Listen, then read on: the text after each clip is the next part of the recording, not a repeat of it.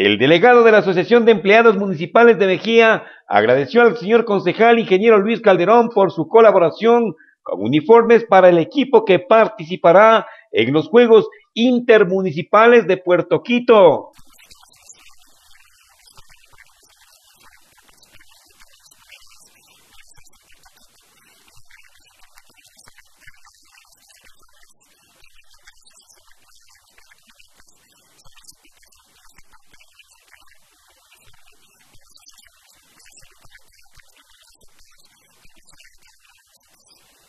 Las deportistas lucieron con satisfacción los flamantes uniformes.